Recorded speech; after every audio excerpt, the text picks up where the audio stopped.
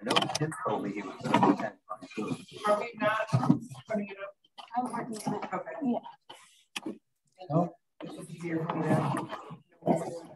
Hey, Joe, how many Rotarians does it take to run a fishing derby? Well, if you got one good one like you, that's all it takes. Thanks a lot, Joe. But I'll tell you, I would have given the kid that caught the eel, I would have given him the prize. Yeah. or certainly had Scott look at it. Oh, yeah, right.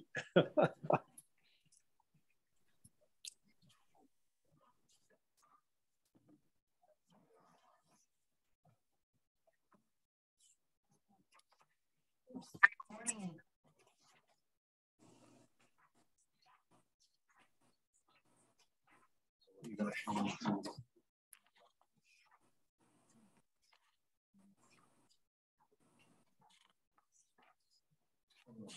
Okay. All right.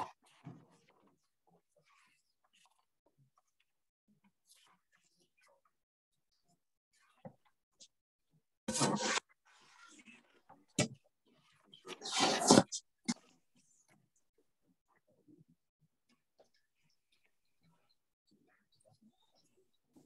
there.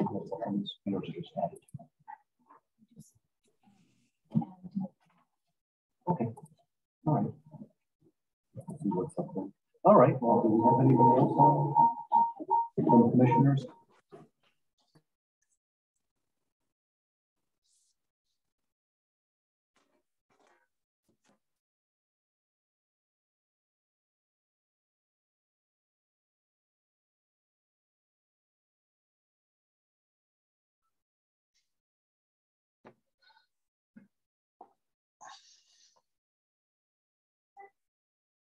You're recording?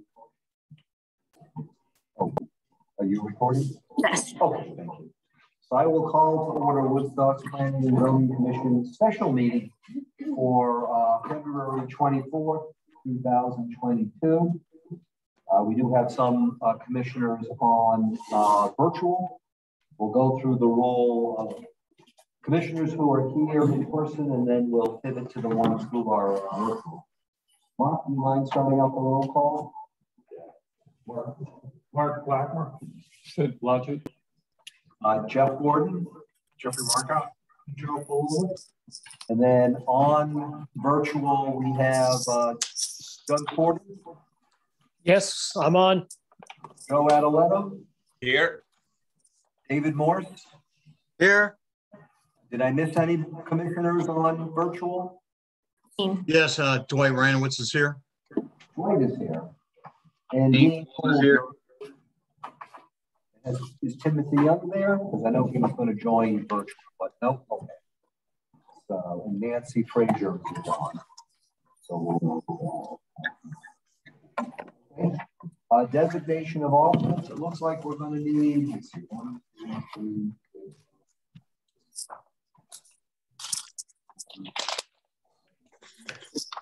Twenty-two. So uh, based upon where we have been in the rotation, that would be seating Dwight Reinowitz and Dean Gould. All right. Congratulations. And we'll note that both of them are um, uh, virtual. Here. Okay. Um, Jeff Marcotte, do you mind starting us out in the Pledge of Allegiance? the flag of the United States of America, to the republic for which it stands, one nation, under God, indivisible, with liberty and justice for all. Thank you. Just a couple of quick housekeeping things. The folks who are on uh, virtual, are you able to hear us? Yes. Okay. Excellent. I do have my laptop and camera set up. So Delia's just sharing the screen right now, but I did have it set up to kind of show a video of the commission. Uh, my usual thank yous to commissioners and staff for the work that's being done.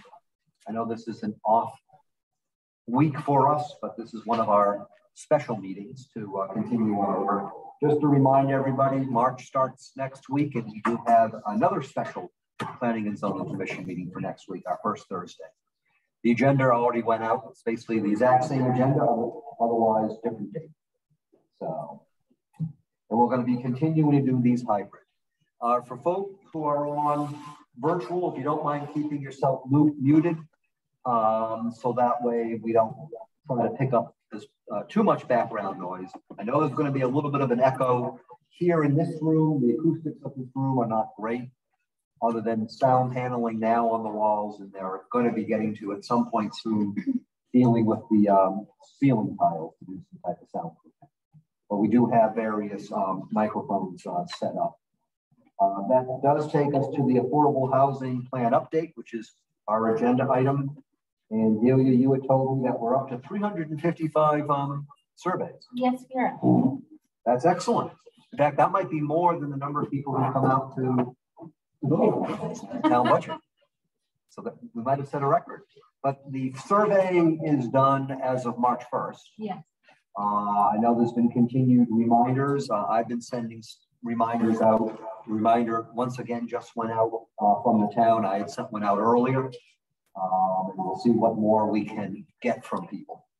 So otherwise, uh, Delia, if you wanted to go through, I know you had been drafting up some additional stuff about the data analysis and needs assessment. You emailed some stuff out yesterday. Yeah, so I had made some additions and some corrections from the draft we have dated last week. And what I emailed yesterday was dated um, the 23rd. 23rd. And now what is going to be up on the screen is some additional stuff beyond what was emailed out? Or is that what's up on the screen? Same thing that was emailed out. Okay. I don't know if you want me to go over it or just to remind everyone that I sent it out in case you want to take a look. However we want to go, we can move forward. Um, we are going to see about trying to get, you know, our documents up on the, um, the website we, so the public can see them. Um, so we'll uh, see where we stand. If anybody didn't on the commission get a copy, then separately let Delia know. I have paper copies here for those that attended tonight and anyone who didn't come tonight that would still like it on paper. Ashley can mail it out next week. Or are you going to tomorrow drive around and deliver them to commissioners? no. Oh, okay. So would you like me to go over a few things on this document or just go into our presentation? Well, what is, what presentation are you doing that's different from this document? Is there something additional that you put in this document? In this document uh, from um, our last meeting, it'll be good just to bring the commission and any members of the public up to speed. Is there some additional stuff and then we can move forward? Yes. I'm just pleased to pages that we've already covered. And then just one question, I think, I don't know if you answered this. Is there anything additional in presentation tonight up on the screen? It will be after I take this up. And so that we don't have copies of. That's correct. So we'll have to email copies out to everybody. But again, if anybody didn't get the copy from the 23rd that Delia emailed, ask Delia and she'll re-email it. So that way you have it. Okay, Delia. Hello, Jeff. Yes, Joe. I just want to note, if you haven't seen it, that uh, Tim Young has joined. If you want to make sure that that's noted. Thank you, because uh, we don't have that view up on the iPad right now. So, so Tim has joined. Where is he? Oh, there he is. Okay. So we'll note that Tim has uh, joined, which means we only need uh, one. So at this point, then since we only need one, I believe, right?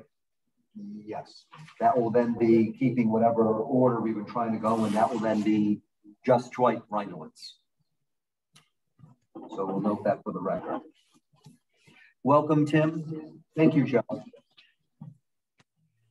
Good evening. It's all yours, Amelia. As I mentioned last week, the home value distrib distribution, I was relying on the American Community Survey data. It's, um, I don't believe it includes enough home values in Woodstock, so I reached out to the assessor. He has provided me the data, and he's had, a chance to update this chart.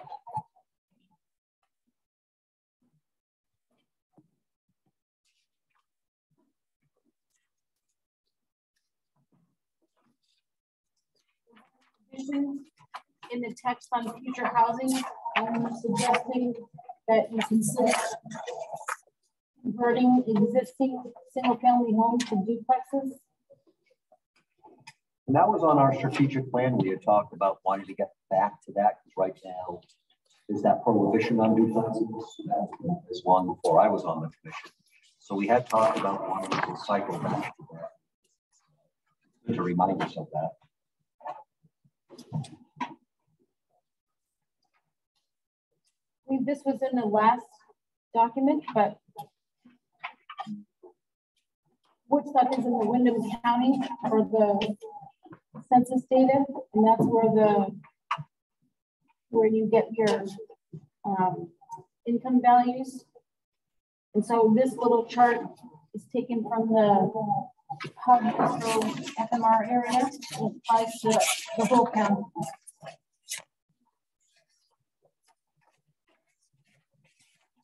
So here's a chart. I'm, I'm going to make it just a bit larger.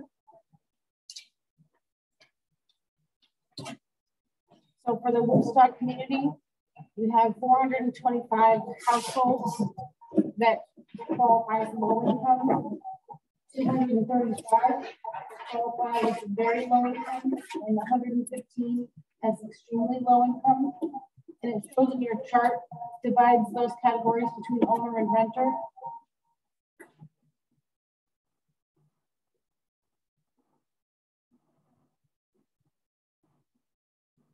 And this chart shows you the monthly costs for the renters that qualify as low income.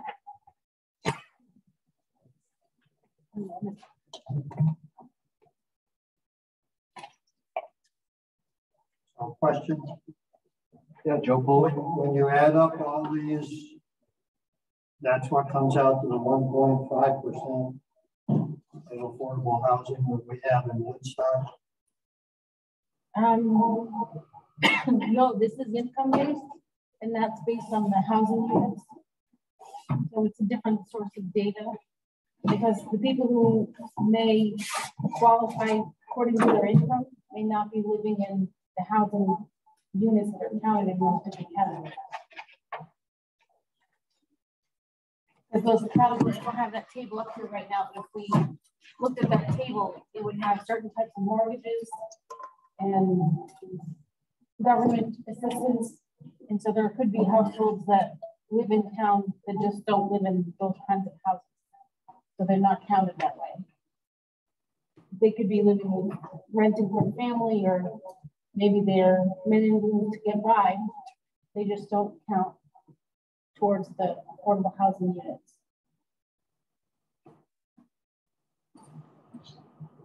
Yes. I can understand this a little better. So there's almost two data sets. There's this one up on the screen that's based on people's income what categories they fall into on. Yes. The other data set is housing and what it costs and which is I think what your your data. Most of the data is from the American Community Survey yeah. five-year estimates, yeah. which was the most recent data that I have available to me because the census from 2020 is not available yet. And this is the Department of Housing data for what they have according to what counts as affordable and how many you know, how many households would qualify if they were to apply for various types of affordable housing programs. So is our ultimate goal or any town's ultimate goal is to do what you've done, kind of figure out what people's income is, how much housing costs in town, and then try to create enough housing that say the 775 families can afford? I wouldn't say that the towns are going to create that much housing, but every housing, affordable housing plan should have this assessment done. Yeah. And the goal of the plan is to come up with a strategy of how to create more affordable housing. To meet that 830G, you should get to 10%, otherwise you will not be able to successfully oppose an affordable housing development should it be pushed on you. One thing to keep in mind about that 10%, town like Woodstock, that's very difficult to, to get to. Uh, just because of what infrastructure or lack thereof we have, the type of jobs, the number of jobs, public transportation. So um, the 10% number, based upon the affordable housing, the way the state defines it, which is a strict set of criteria, can be tough for rural towns. In general, to try to get to quote unquote affordable housing, you use the term attainable housing. That's that's that's a that's a bit of a different met metric. And a number of communities uh, around the state were are looking that way. When the legislature took this topic up last year, that created the requirement to do this update.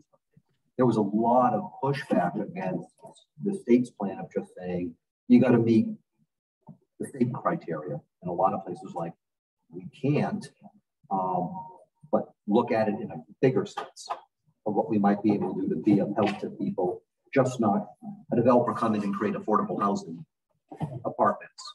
And that's coming actually up now. Actually, there's a hearing next week um, to discuss about affordable housing laws again this, this session. But a lot of the effort's been looking at what to, from a town perspective, what to do to get this attainable housing to make it easier for people as opposed to the state definition of affordable. If that makes sense. I'm sorry to back up, but it's the state's policy that 10% of, say, Woodstock or any town's housing stock is affordable. as They define it. So if a developer comes in with affordable housing plan, the town doesn't have a certain leeway like it otherwise does for residential development. However, if, if we meet that 10% mark or higher, then the rules change a bit as far as an, you know, you know, an affordable housing development. That's different than what we try to do with affordable housing with a little a or Delia uses the term attainable housing. And that's where a lot of um, towns are looking. I just check to see those of you online, can you still hear us? I can hear you. There, there's a, Yeah. there's a little bit of feedback, but uh, for the most part, yes, we can hear you. Yeah, we can hear you. Yep. I hope I improved it. I shut the microphone, I mean, the speaker on the laptop off so that we didn't have the. Yeah, that's fine. I shut the microphone off. It's a lot better. Yeah, It sounds a lot clearer. Yep. I've got a question when we get a chance. So just to follow from what um, the, the discussion with Sid, so the issue is just trying to meet the state affordable housing. To be honest with you, a town like Woodstock, that would be difficult to do. And a lot of towns are in the same situation. It's really more the way the state is looking at it, what to do from an affordable housing point of view, but also they do recognize efforts to try to deal with attainable housing. As far as looking at this update, now, who knows what they'll do in the legislative session right now? Some of the proposals are the same as last year that were shot down. And we'll see what happens this time. But right now, that's kind of how they're looking at it is what is there realistically you can do for affordable housing with the capital A, but also with attainable housing to be of help in general. Um, after I show this, I could go and show that table again that's in the draft and it- trying to refer back to it, but there's several columns and there's different types of mortgages, government assistance, tenant rental assistance, and I can't remember other ones besides the deed restricted.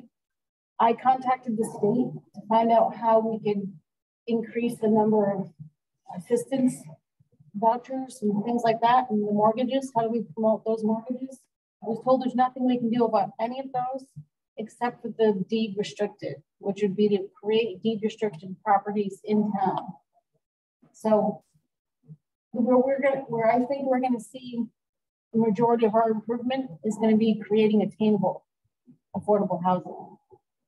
Unless you're gonna be creating, you could build more senior housing that could be deed restricted. That's your twenty-four units that you have now. But, um, unless you're gonna be creating deed restricted units, I don't see that that percentage is gonna change. But we could do a lot for attainable housing. and one of the bills in the legislature this year that was shot down last year is to include the use of accessory apartments towards the calculation of affordability. Because people may choose that right to say, I already have an existing home. I don't want to move to some or build something elsewhere, but I will do an accessory apartment. So there's another push this year to add that to the way the state calculates affordable housing in a sense. And We will see where that goes. Joe, uh, Adaletta, you had a question? Yeah, I did. Thanks, Jeff. Uh, just wanted to get back and maybe you presented it already, Delia. Uh, but with this uh, information about uh, specifically for Woodstock, what it constitutes the uh, extremely low income and either the housing uh, cost or the rental cost, you've come up with some actual figures. How does that relate to what Woodstock currently has already as either homes or rental units within those uh, dollar figures that you calculated? That's the part of the assessment that I'm not done with yet. Okay, good. I will be moving on to doing a gap analysis and I haven't finished that yet. Okay. Thanks.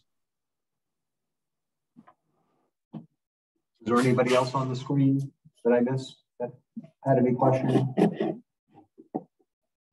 Okay. We just want to make certain we don't forget. Jeff? Yes, Sid. Hey Doug, can I ask you a question? Yes, Sid. Yeah. I'm just kind of curious what your opinion is on this so far as a builder. You've been working here in town for, for a pretty long time. I like Delia's ideas as far as, uh, say, elderly housing or what Jeff's talking about, the uh, accessory apartments. What about single family detached residential? Is that an option to build either smaller houses on smaller lots or simpler construction that sell for a lot less? Or is there kind of a formula that with this acreage, with this market and the demographics, it's got to be uh, whatever, 3,000 or 2,500 square foot colonial with three bedrooms? we keep looking at how we can build a more affordable house. Uh, and with uh, septic systems and wells and excavation costs, we haven't been able to come up with a method of making an affordable single family houses within the, the current land use regulations or the cur current building environment in Woodstock or Northeastern Connecticut. It's extremely difficult. Um, there's just those fixed costs of um, underground power, a driveway, a septic system, a well, um, those just push the costs very quickly. And that's where um, towns that have sewers, uh, towns that have uh, municipal services make a difference in terms of being able to create more affordable housing.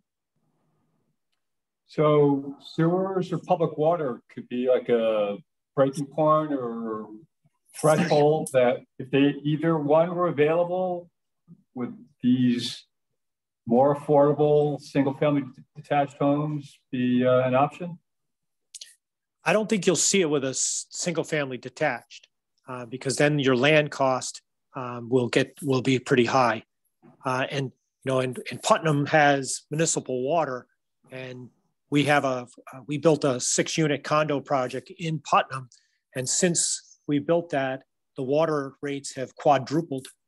Um, so even the towns that have municipal services are struggling uh, as they have to replace the infrastructure that provides those public services. But uh, you know, the, clearly, uh, we have to deal with density. And one reason the senior housing project works well is that they have those units are on a fairly small site, and I'm pretty sure that is on the sewer system. Um, so that helps. If I could just uh, pick a brain for one more thing. Uh, mixed use, uh, apartments, multifamily. Is that what we should be uh, considering? Would that get us to this goal of an adequate number of either affordable or attainable? Uh, Sid, I don't think in your lifetime or my lifetime we're going to get to that 10% affordable uh, goal for the Wood, town of Woodstock. It's just we don't have the growth. Uh, we don't have the other services that are required to be able to meet some of those things. Uh, but I do, I do think multifamily is definitely one way to help. You know, we look at it over the longer terms, um, where we had Tom Lasky build Cornfield Point and Woodstock Meadows. Uh, when those first were developed, uh, they were reasonably inexpensive homes. But now um, you know, it's not quite, it's quite common those to be to two to $300,000 for a unit, even in those projects, which have a fairly high density. But uh, the opportunity, the, the desirability of Woodstock has, the market has driven the cost of housing up because people really do would love to live in the rural countryside of Woodstock. And I guess with Cornfield Point or Woodstock Meadows being so expensive, it's not a whole lot more to get that single family home on a couple acres in a more rural setting. Is that right? Well, as I mentioned, we continue having trouble being able to uh, meet that goal. Um, but part of that is that we've come up with a certain way of building a house that's very energy efficient, that's has long-term little low maintenance and things which drive our construction costs. There are less expensive ways to build houses, um, we just haven't haven't gone that route. Well, we have talked a number of times before in the commission about looking at multifamily, mixed uses, duplexes. Those are all things that we've kept on our strategic plan and certainly valid to be bringing up for you know this plan. But even after we update this plan, there's going to have to be continued updates and reviews to see you know, right now, I think our multifamily regulations are quite funky, uh, but we haven't updated them. Um, so this will be a good opportunity to revisit that type of stuff as far as where do we stand, not something just not from the affordability point of view, but also from a permitting process point of view. Where are we with that? Because that, that can add costs as well, you know, to developers who, you know, who can pass that on far as the overall cost. So actually some very interesting ideas in some communities. Most of them have been suburbs, uh, but some very interesting ideas that have been floated around um, to try to see how to guide some state legislation has been how do you do multifamily, even mixed use, especially in the suburbs where they can have you know multi-story and you can have businesses on the first floor and then you have you know and they also get into you know, how do you deal with parking and you know, that type of stuff. But this was some very interesting concepts being thrown around as to what could be viewed as affordable that the state could actually, you know, give you credit for.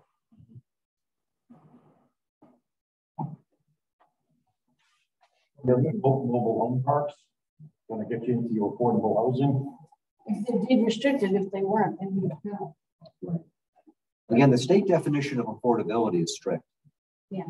And, and that's been the problem. You know, it, it's called 830G. That's the law uh, that people refer to affordability. It has not been updated in any meaningful way in a very long time. But the state still relies upon it and tries to add to it. And that was the problem last year that they, the legislature didn't make certain changes to it to make it more workable. They just added things onto it. And so this time around, there's a big push and there's actually legislation already submitted to kind of, in a sense, modernize that 830G affordable housing and say it hasn't really been working the way it was designed. It's difficult for a lot of communities to meet that mark. Yet the state says, well, if you don't meet the mark, you can get punished for it. Um, let's modernize it and update it and rework it and broaden it. Um, so we'll see if that gains traction this year. And if it does, then that 10% rule a lot of places can actually, it can be easier. So for me personally, I'm hopeful that that might gain traction in the legislature this year because that would, be, to me, be more meaningful to really broaden what might be considered affordable or attainable.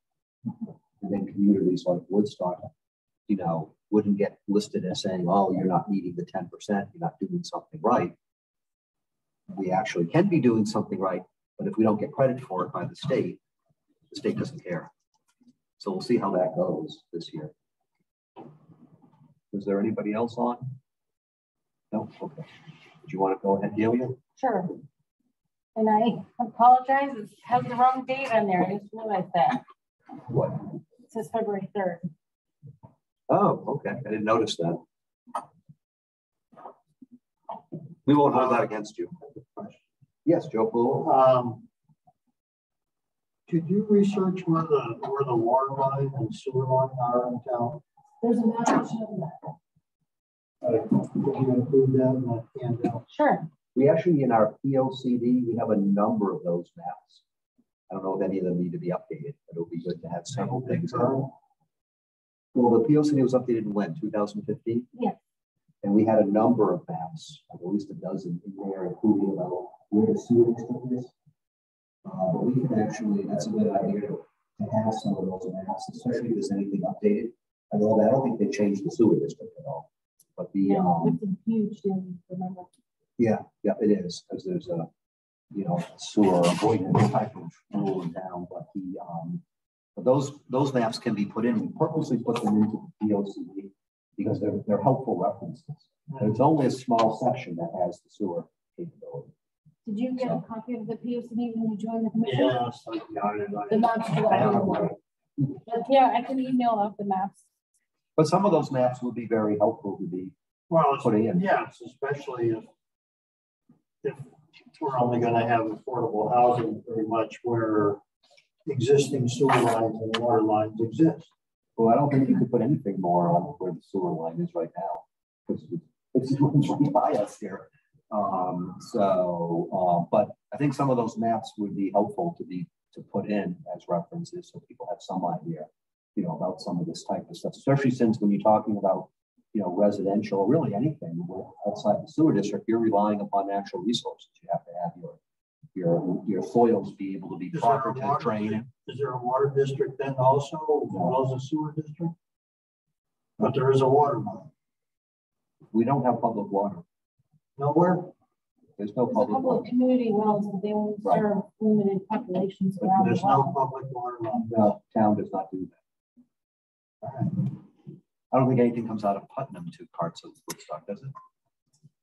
I think the community wells are located in Woodstock and they serve neighborhoods. around As far as like a- an infrastructure the town for public water, that's wells.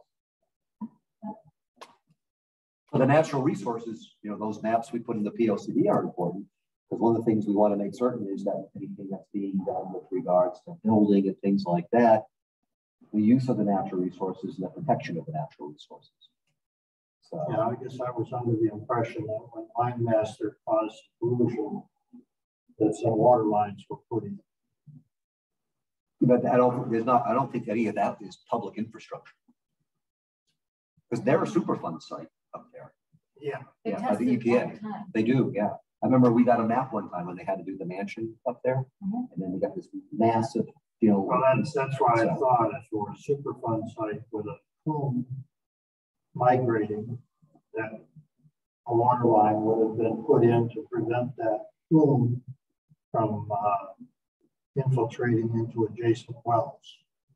I'm not aware that there's any public infrastructure like that coming out from there. We'd have to probably have the water authority. to connect to it and some of these Yeah, we don't have, we don't have a public water tax authority. for those. Okay, thank you. But Delia's point is well taken, that there have been some developments where they share those resources. Frozen Lake shares a well, and there's a well, community well over, I don't know exactly where, but it probably is over by the apartment complexes and the condos in South. Um, Woodstock. Yeah, you'd have to have a really good aquifer to provide water to several units. But the multi, um, the multi-family ones that are already built in, they have, each individual unit doesn't have its own well, No, so they're sharing whatever. have- Yeah. they must have a good aquifer. And that's all then based upon what they find and what NVPH signs off on. Yeah. So None of those developments were moved, so. they've been there for a while. yeah. Yeah, I I wasn't here when they were built, so review that, but I have done certificate of zoning compliance on several large properties, including what was Hyde School, the South Woodstock campus of Woodstock Academy. And I reviewed a couple of properties that had apartment complexes and condos. And so I would have looked up stuff like that. And then the state at one time contacted me about community development. So we have probably, no, not much more than two of them. So here's the same table I showed at the last meeting with your residential uses summarized. So then we think about what's missing. What are the opportunities for compatible housing? So the types of housing and the types of permits that are required, you have single family homes and you're allowed to have accessory buildings with those, needing a zoning permit. You can have an accessory apartment allowed with the single family home with a zoning permit. That works well. And the apartments are put in by property owners who that want them. And then you have multifamily, which is currently two plus units, and it requires a special permit. In the entire time that I've worked in Woodstock, almost 16 years, and also in the all the time that I've been reviewing regulations going back to when I first found that in the regulation, which I think was early 2000s, I just don't have the exact date right now.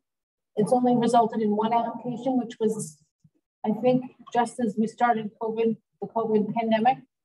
And that was not for rental housing, it was for a family. Um, it was a duplex with a single, I mean, a, an accessory apartment on the same property. And then they were unrelated to the multifamily status. There were um, like guest houses for relatives. So they want to be rented out as apartments. Is that one on Crystal Park? Yes. So the reason why, that application required the, or why it was considered multifamily is because it has a duplex plus the, the accessory apartment. I'm not sure if you've been following the issue of housing as it's been discussed in the state in the last couple of years, but this image is from a book called Missing Middle Housing, and this is the full spectrum of housing basically around the country. Certainly not what you're going to find in any individual town anywhere near here. For the sake of the image, these units were planned together to show you all of them on one page, but they certainly are not going to be built that close together. So what would be compatible in Woodstock? We know the single family detached homes on the left in the green circle, we know they fit. And I'm suggesting that we consider duplexes and perhaps fourplexes in the right places. And now with this discussion, we're not talking about what kinds of permits. That would be another discussion for later on. We already have some condo developments and they're very much like townhouses. I don't know that they show condos in this diagram, but they're very much like townhouses. And so then we think about what accessory apartments look like. And you can have them as a detached freestanding structure attached. There's at least one wall of the primary home. Interior built from existing converted space in the attic and the basement. A garage apartment converted former garage space and above the garage. And here's just a couple examples of, of small little apartment sized dwellings that I think could work well in Woodstock. Here's a bunch of pictures of what duplexes might look like. I didn't want to, I purposely did not choose pictures of houses that you recognize. I didn't want anyone to feel like I used their picture of their house and found these pictures on the internet. a few things to keep in mind. Zoning does not dictate the architecture the photos were provided for the conversation's sake. In terms of who might live in the more attainable homes, think of your adult children in their first home when mhm. you an adult, your parents as they become empty nesters, other relatives, single parents, someone who wants to downsize, your friends or neighbors who fit into one of these categories, an employee working in a local business, and you if you fit into one of these categories. And we have probably more numbers I can list here.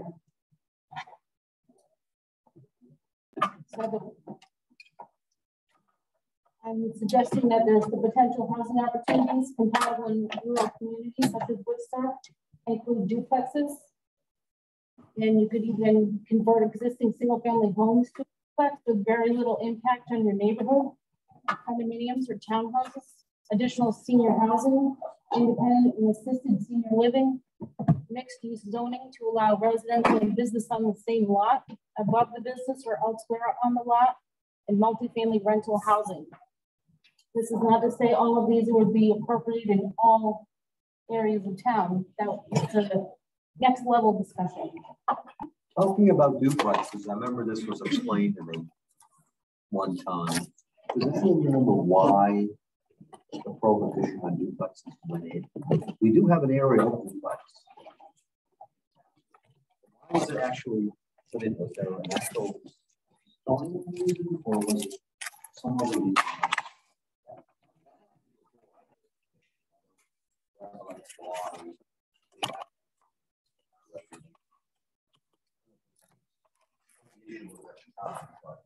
I can't confirm it, but I heard story about it that had to do with a subdivision that was composed of single family houses and then one point two one homes in um,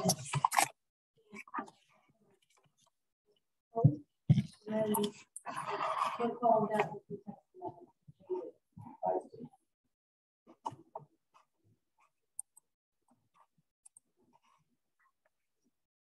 I have another one of those handy dandy interactive surveys.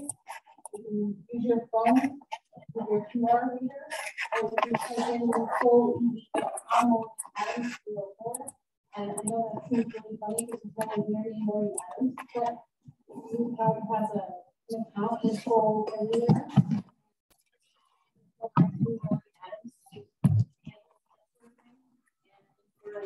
Enormous difference get, you can change your, your website name or your portal name. But the cost to do that is. Before we do that, I just want to make sure, is there anybody, anybody on virtual that, I just want to make sure I didn't miss anybody who's joined us by Zoom who has any questions so far about what Delia or comments, what Delia has gone through. Just want to make sure that we haven't missed anybody. Okay. And I think it's the way the town has the Zoom set up. There doesn't seem to be any chat. Otherwise, I'd be able to put the live link in the chat, but the chat's not available. So you, will have to type it in the way you see it on the screen, or you can use your QR reader.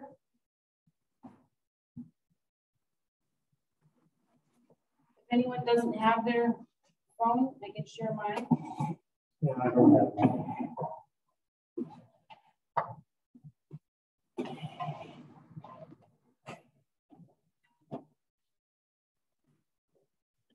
You don't have your special counsel, they gave you as a commission. And to take it away from. Should be. All right.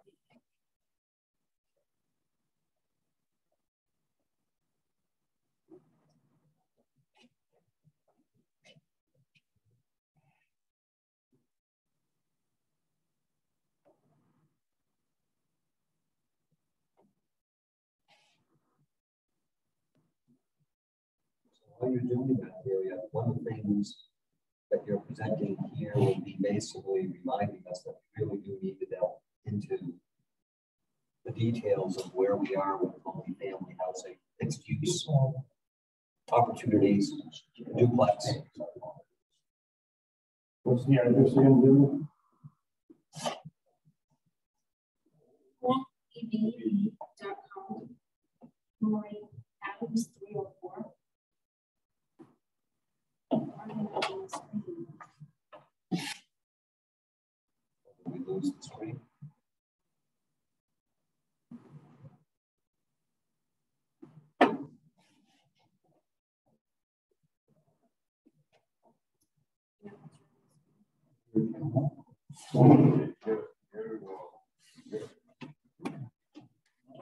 get the screen to be shared again so we can see it. I don't know why it's. You have um, unshare and then share it, so.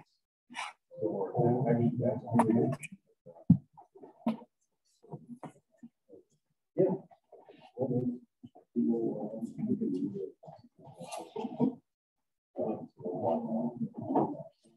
Just bear with us, we're trying to see why we lost the share of the screen capability.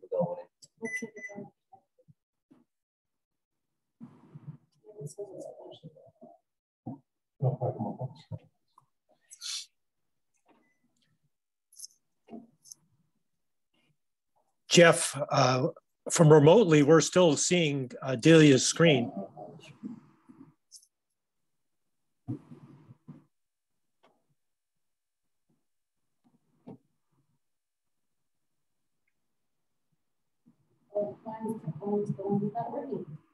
But I set it up so that people can answer more than once, so maybe if, if you could share with someone else, it might want to be All right. Yeah, and we have also the folks on Zoom, so we want to make certain we're open in on things. So we'll have to see What's up with VAB? People online, are you able to access the website?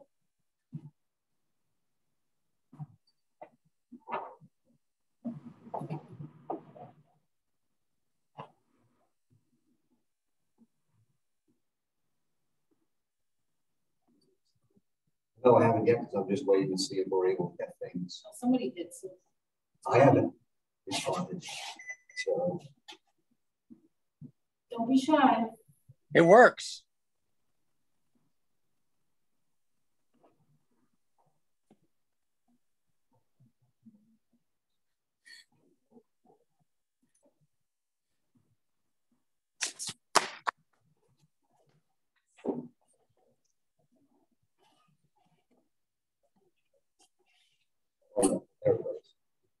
Let's see if we can get it back up and running.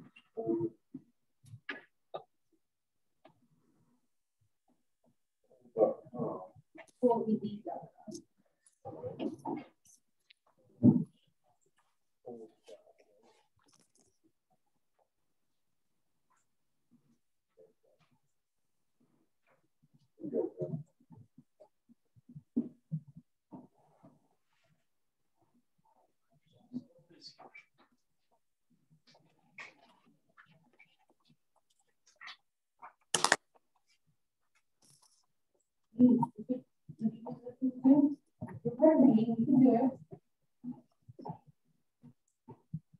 So it's pollev.com forward slash Doreen Adams. Three oh four. Eight zero four. Three zero four.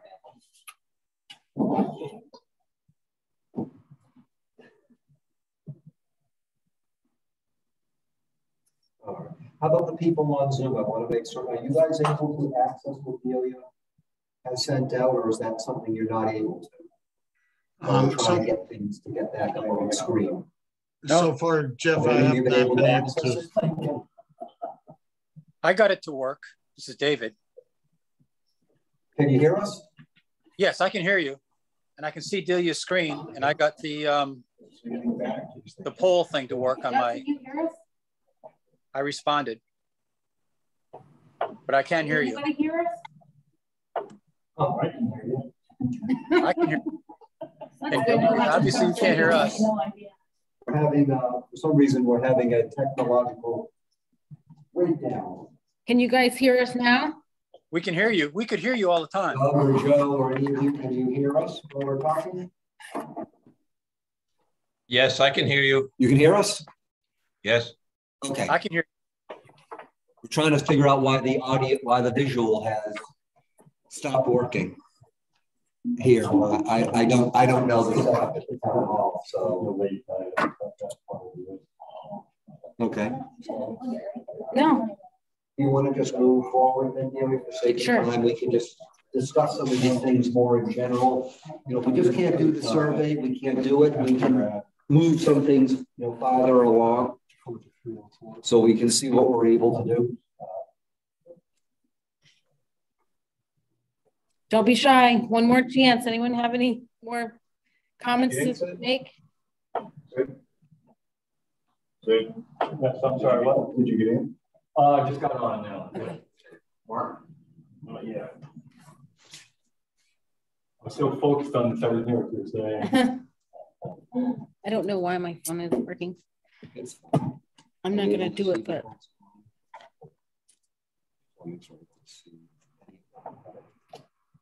Okay.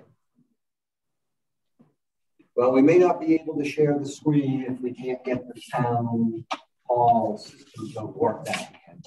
Who knows what it's doing and why it decided to shut itself off. Sorry about that.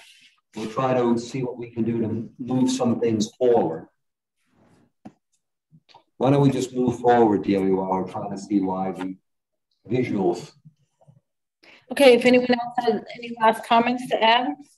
I think there's one more slide. Okay.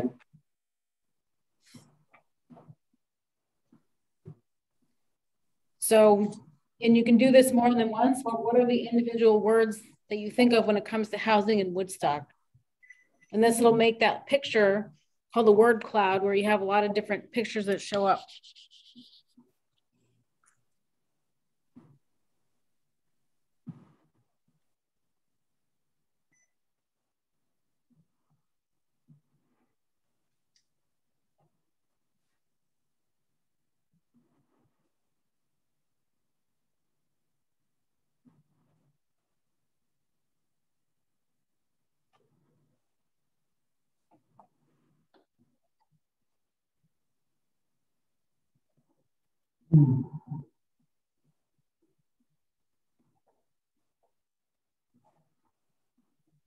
Some, we're, nobody's really able to see the, the word thing. So, okay. Well, I'm sharing this screen online, so anybody who's online should be able to see it. Oh, they can? Yeah, just not people. We just can't. Oh, okay. All right. Do you want to let us know some of the words, Delia, so that way those who can't see it, we can. There's never been an easy way to operate that. These have always been a pain. So there's like a picture of a little house in the middle of the screen, and it says rural. And the words keep moving around, but it's stately, adequate, spread, exciting, cantankerous, peace, expensive, needed, homes, rural, stately, Delia. uh, big, adequate, rural, needed, and a smiley face.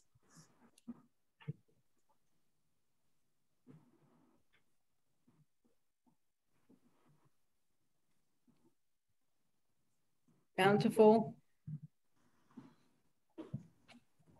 suburban, single.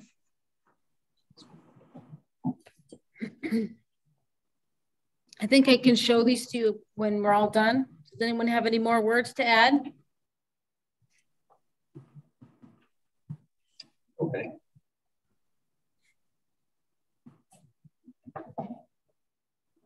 On the buttons. some reason it decided not Yeah, it want to just has share. no signal, so, Who knows what it's doing? yeah, we might need a new cord or something. I'll, I'll talk to them on Monday.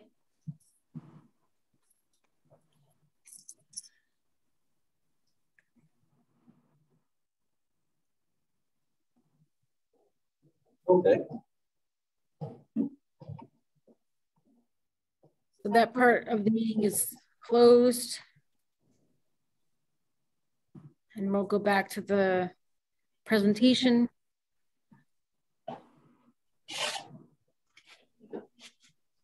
We're just not going to be able to see it. Those of us who are here. There's not, there's only two slides left. Okay.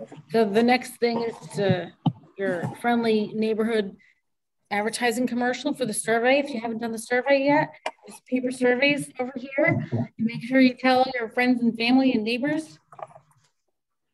I think once we get the survey closed, that's coming up next week, it's going to be very interesting for us to see what to have.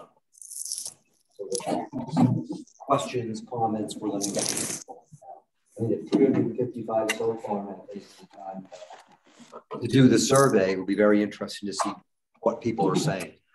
you know, what they think is working, not working, what their opportunities are. So I think that will actually be, you know, how, how long do you feel will take you once the survey closes to, on the Survey Monkey, it has it all for you, right? For each question, all the answers. That part's pretty easy if they're multiple choice or the ones where you check off the answer. The question that takes a long time is anything that has written in answers. That will take a while. But we'll at least be able to soon after the survey closes, start getting some, seeing some of the data from it. I was hoping by the March regular meeting, Okay. not, probably not in time to send it out with your agenda packet, but once the survey closes, I'm gonna go to the libraries because I had dropped out paper surveys with the libraries and also mailed enough for all of the residents of the senior housing. And so I need to collect those and put them in. We'd So like that to be take a able little to, time. we're gonna bring it up at our business meeting, March. To be able to call two commissioners before the meeting with enough time to, to review, so we can work on it, we can see where we are, you know, with that. Okay. Did you have anything else on your slides, Delia, or? Just the- my contact information. Well, let me just raise this up just because, you know, for some, uh, I've already mentioned about multifamily. What do folks think further about the multifamily mixed uses? I mean, I love duplexing under multifamily. Um, what do we think in general about separate from us knowing you have to look at those regulations to update them anyway? What do folks think about whether or not that might, in general, those types of housings are something workable in town as far as um, meaningful for affordability or attainability as far as building down that as options. Joe? Yeah, uh, given what uh, we've been hearing about, One second, Joe, we can't hear you. I don't know why. any better now? We're having, we're trying to figure out why we're having audio visual problems. There we go. Can you, Does that sound better? Can, yes, yep. okay. Uh, Given what we were hearing this evening about uh, just the cost of doing building uh, in northeastern Connecticut and Woodstock in particular, um, you know, duplex housing in, in principle to me doesn't sound bad, but I don't know if that uh, would um, meet the needs of affordable housing in terms of the cost of building uh, a duplex to make it economically viable for the builder. Um, you know, if they if there are duplexes and they charge a high rent or it's a high cost to buy your portion, um, the duplex isn't addressing the problem. Uh, so it, it, I think it's got to be a combination of understanding the cost of putting in some of these uh, suggestions uh, versus how it really addresses affordable housing. And unfortunately, there are certain factors out of our control. Yep, yep. Cost of labor, cost of materials, those types of stuff are just out of our control. No, I understand. Uh, it's just that's a factor to uh, recognize that uh, suggesting duplexes or multifamily housing, uh, while an approach, may not be an answer eh, for our area. Okay. What do others think? The Mark? duplexes, to me, I'm picturing duplexes, I picture Putnam, we've got the city water and sewer. Whereas here, to put in duplexes, again, now, is it one well? How does that, how is it being shared? It's Strictly if it's only two families, you know, water and sewer, is that gonna be separate for each side of these duplexes? Is it Well, that would be regulated by the health department, but Um, I'm so sure I they don't, I do. don't see it really working. we can get more information from the health department and what their regulations are. What are they, what are they doing? What happened with some of the duplexes that are in town now? The ones on one ninety-seven going towards Union, they're one driveway, two units, they each have their own well. They do? What about Dug Hill? Aren't there duplexes up there? Are those duplexes? As you're heading up towards Converse Street? There's, Those are condos. are those condos, not duplexes? Those are condos. Those are condos. I forget the name of that complex. Oh, I forget the name of it. I think that's called Fawn Hill. Fawn Hill, Is it yeah, Fawn Fawn Ridge, Hill? Fawn Ridge, I think. Oh, okay, yes. Yep. Well, that- Uh, Oh, so go. duplexes on ninety-seven, have grown wells, you have their own septic systems. But Delia said you'll find out from the, from it, from public health as far as what their regs are. Because whatever they're saying is, is needed, that's, we have to be aware of. They'd have to sign off anyway. Uh, and one like I said, like the commission to explore duplexes, multi-use or mixed use. And then get from the public as to whether those are options that like residents or developers have, whether they can contribute to attainable or affordable housing. Uh, that's more like a, I think really more as a simple math calculation by the developer or somebody to this is what they cost to build and at what size, whether it work or not. Okay. I don't think there's necessarily need to limit to a duplex either. Three, maybe four unit buildings or in the right circumstance. It's the, the points that uh, Doug Porter brought up obviously are uh, a factor, but that could somehow be overcome. To that. And also would depend upon where we'll go. You know, how much land there is, where, you know, you know, that type of stuff. But some of the, some of the multifamily ones that are around are, other than Cornfield Point, but the, uh, the other one, uh, the, the Meadows, that's set back a little They'll drive by, but you don't see those places unless you go up there. So, uh, you don't see all of Cornfield Point anyway when you drive by you know, anyway. So, and they seem to have, you know, this, there are certainly places in town where there's enough land if one wanted to consider some of that. I guess it's really going to come down to economics of building it, you know, and, and selling the units and what would be considered affordable or attainable and that type of stuff. And some of that is just purely market driven. So, Joe? Well, I just wanted to add that uh, one, I think the gap analysis that Delia will be working on will be very informative to see where Woodstock stands in terms of the number of, of available units already in town that are considered affordable uh, either by ownership or rental.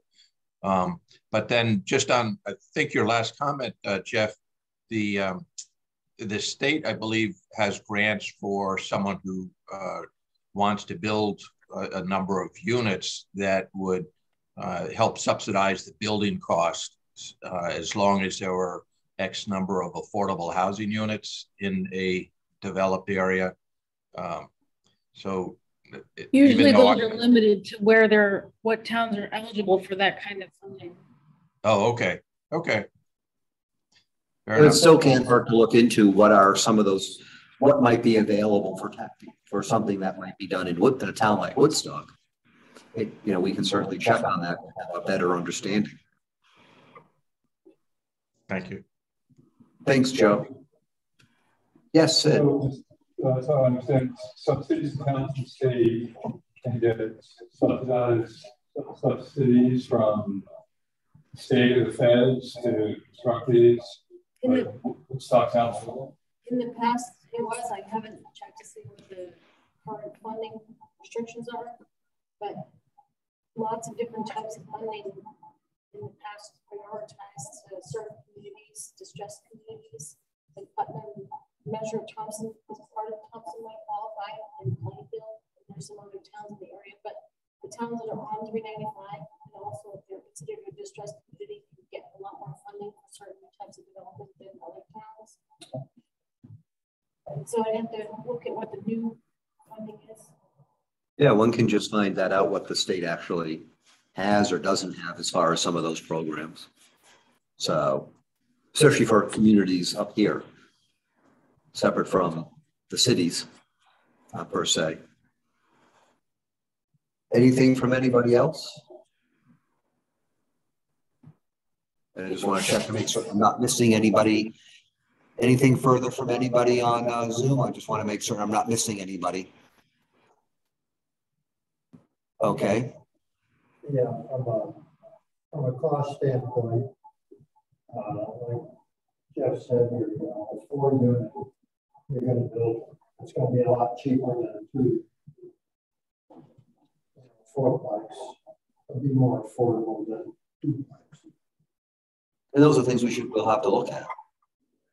So, well, let me just raise this additional since if one's looking at different types of housing, we, uh, we also have to look at what type of permitting process do we have? Right now for the multifamily, uh, that's special. Uh, automatically. Is that something we see wanting to keep, say, all of that has to be special permit or trying to find certain of the situations might require special permit if the developer comes in and says, I want to build 100 units versus someone says, you know, I want to put do something smaller and do we need to make that go through a special permit? Is there a different process? It also gets into mixed uses where right now mixed uses are special permit. Yeah. Uh, and how we want to kind of, you know, handle that. We want to keep everything special permit. That's a certain type of process involved and certainly monetarily. Or do we think there might be some different options? keep the special permit for the big things, but things smaller scope. We'll try to encourage some of the mixed use, you know, type stuff, especially if there's any of the old homes that someone wants to keep residential, but also, you know, lease out or run a business out of if it's not a home occupation. Do we think there might be something? We, it also gets into how we view home occupations, you know, as well versus those that are really not home occupations. But I open that up as well because that stuff we'll have to look at uh, as far as how we permit some of that stuff, you know, as well. So for me, I think there could be some opportunities for us to revisit the permitting for multifamily mixed use. If we're going to try to, I think that might be something that might be in the mix for affordable, attainable uh, housing. There might be some ways of seeing what to do with the permitting process, but still keep commissions flexibility that when we have to have a special permit something that's big in scope, you know, we recognize we need special permit for something that big. But I open that up as well, folks think that might be something as well to look at. I, think there is the opportunity for some massaging, uh, or at least to take a look at some of that stuff. So. Okay. I think we've talked about that, uh, Daly. I know uh, uh, we brought that up with Ashley Daly. We brought that up amongst ourselves in the commission when we were talking about ag and how do we want to look at, you know, some of the business aspects of ag and some of the, you know, the business, the non-ag business stuff. that we talked about, you know, what we might do with some permitting and things like that. You know, that the corollary to that is what do we do with regards to residential? You know, as far as some of this. So, but I think that's something we can be bringing up as well, be thinking about what we might want to do. Okay. Sid? Yeah, like, if of open the permitting process as well. Also, though, I think if we go down a new path, whether it's mixed use or multifamily, it's just kind of nice to have that uh, feedback or input and involvement in the process. But say that's of an to discuss the permit. Although we don't want to be so there and focus on that applicants are involved because there's time and money and all the requirements and other professionals that need to develop draft reports, landscape plans, et cetera, et cetera. But it's going to a little bit balancing act.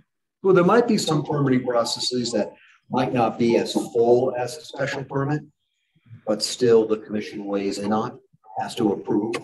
We also have those provisions throughout our regulations that say if at any time the commission feels that it needs something additional, uh, not that we would want to go crazy with that, but if we feel that something, you know, something is unique with that parcel or whatever is proposed, we feel, you know, we really need to get some additional professional input or some additional reports, our regulations give us the flexibility for that. Likewise, it's nice to be able to waive a lot of requirements that might be on the books, but don't really apply to specific applicant. You know, not require several things. And we've done that somewhat when we when we reworked uh, some of the um, especially some of the zoning permit process. We reworked that a bit, and when we did the subdivision, we we reworked that to say here are some of the basic things you need to give us. You you shall give us these things unless you ask for a waiver. But then here are other things you might need if the commission or the CEO feels it's needed.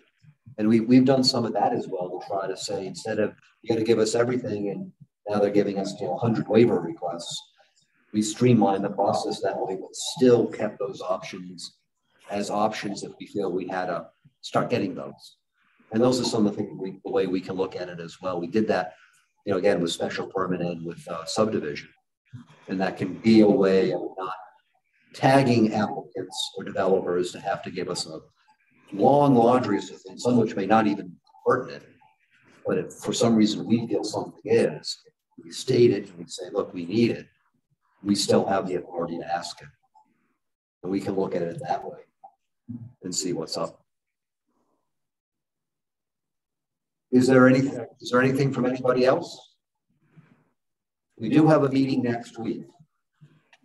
So let me raise, let me ask two questions. I want to put you on the spot, Delia.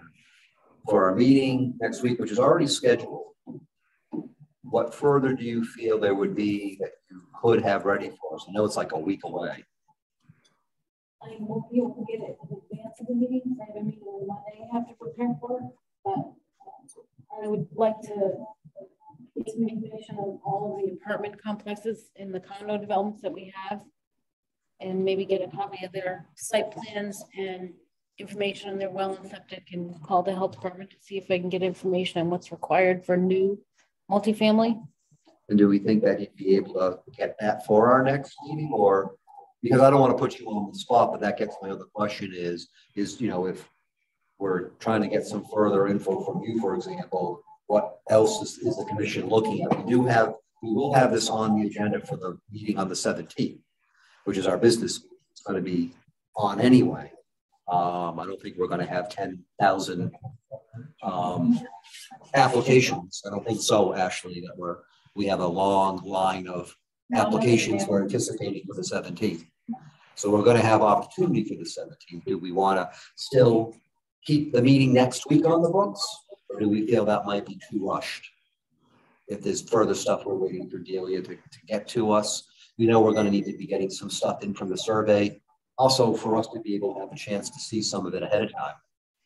So, so I'll, I'll open it up as far as what people think about keeping the meeting next week, or do we want to?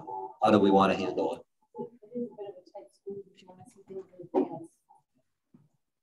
But I want to make certain we are able to, as commissioners, too. It's one thing to be able to see stuff at the meeting itself, but sometimes it is helpful. I know it is helpful to see things ahead of time to be able to digest it. Be prepared to ask questions and comments. Joe, did you have your hand up? Yeah, I just wanted to raise a question about what's been publicly advertised as the opportunity for the public to weigh in on this. Did, did we indicate that March 3rd was also uh, a public hearing type uh, opportunity? We what? No, we haven't yet we haven't yet thrown out the March schedule. Which okay. is going to go out to the public soon. Um, we just told them about the February, and there's been a lot of reminders that have gone out, and also about the survey. Um, so we haven't yet thrown out the March schedule, other than what's already on the books is, remember, we always have the first Thursday listed anyway. But as far as for affordable housing, uh, we haven't yet thrown that out to the public for, uh, hey, these are the dates in March. Okay, thanks. So what do folks think about? Do we think we'll have enough time to pivot for next week? Or do we want to regroup for the 17th? Delia will have a chance to get more together. We'll have some more from the surveys available. Get stuff out to us to look at and then move forward on the 17th. Um, this is David. I'm not going to be in town next week anyway, so I'm Okay, well, we know some constables who can make certain you stay in town. You might know more. Yeah. Joe? Uh, uh, Jeff, uh, if uh, there's uh, very little new information that would be available for next week, uh, and it might be beneficial for Delia to have a little more time to uh, uh, focus uh, on pulling together more information for the 17th. Uh, I would be in favor of uh, just using March 3rd is a regular special meeting as opposed to just focusing on affordable housing um, or not having the meeting at all, either one of those.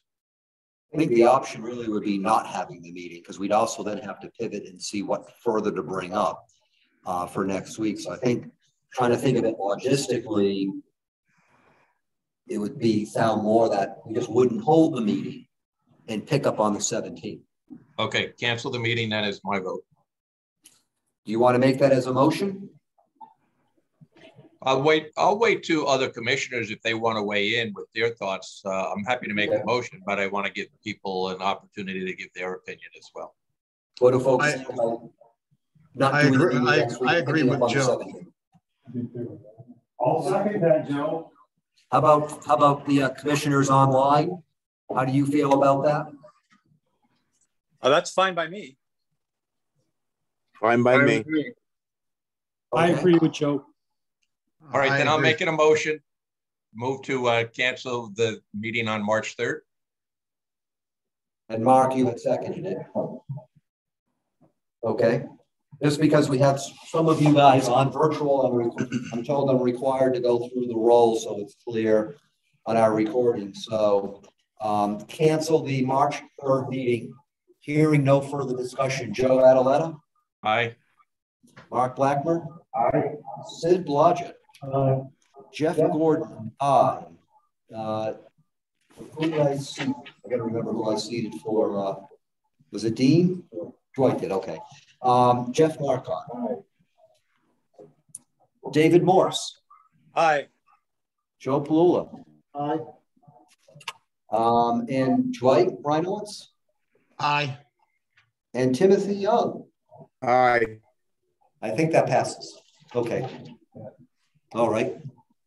Do we have anything else further for tonight on what Delia has brought up? Otherwise, it looks like we have a list of different things to look further into. We'll look forward to starting to get some info from the survey. Um, and then um, we do have, just to remind people on the 17th, we do have that application to turn one of the uh, lots into a building lot. Hopefully we'll get the information they're required to submit to us. We do also have that public hearing on the driveway on that lot, which is, uh, we'll, we'll open the public hearing, but um, otherwise we don't have anything else yet for that meeting. So like, sounds like we'll be able to focus the vast majority of the meeting on the affordable housing and have a good amount of stuff to uh, to pick up then. Okay. Yeah. Yes, Mark. Now that we voted to cancel that, what had wasn't that third originally legal training? No, we canceled that. Okay. I meant what did that no. come back up? So what we did was we voted to not do the legal training. Then we looked to see about um, in June, tentatively. And uh, Rich Roberts told us that he could do June if we wanted to pivot to that or some later time. But we decided we would defer on the legal training until after we get through affordable housing. So that's where we stand on it. So that that that we can cancel for the third. So he's off his books. Well, we wouldn't be able to because we have we, we want to be able to get him some questions and other things like that that we have, and we wouldn't have time to give it to him and then him to be able to prepare it and get it out to us. So, okay. Um, I think then, then is that is that all you wanted to present tonight, Delia? Yeah. Is there anything from anybody else before I ask for adjournment? Okay. Uh, Commissioner Young, did you want to make a motion to adjourn then? I move to adjourn. Second. So motion by Young, seconded by Blackmer to adjourn the meeting. I'll go through the roll. Joe Adaletta? Aye. Mark Blackmer? Aye. Sid Blodgett? Aye. Jeff Gordon? I'll vote aye on that. Um, Jeff Marcotte? Aye. David Morris? Aye. Joe Palula. Aye. Uh, Dwight Reinowitz Aye. and Timothy Young. Aye. So that so passes. Okay. I apologize that we had some AV issues with the system here at Town Hall. We're gonna have to look into why certain of the systems